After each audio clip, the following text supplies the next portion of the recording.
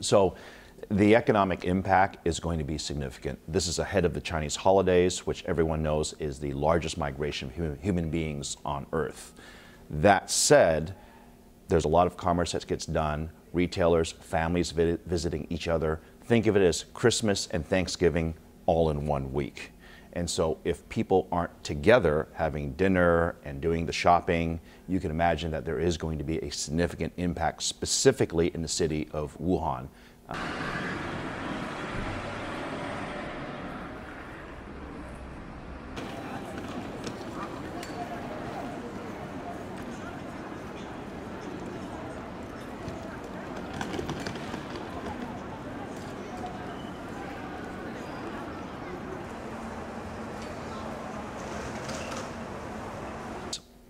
Healthcare is one of the greatest priorities for China over the next 10 to 15 years how they treat this potential outbreak in Wuhan is going to be critical to what how the outside world sees China and how they handle these crises. This is a communications crisis, it's a healthcare crisis, and it's a societal crisis as well.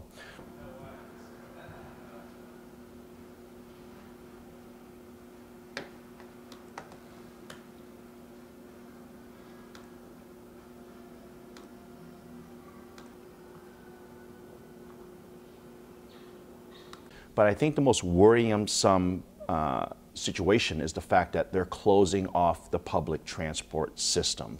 And you don't do that unless there is a very serious outbreak. I think the last 48 hours have shown us that we can go from peace and calm to a heightened state of awareness. And the next 48 hours now will be critical to see if we can see the number of infected patients decline.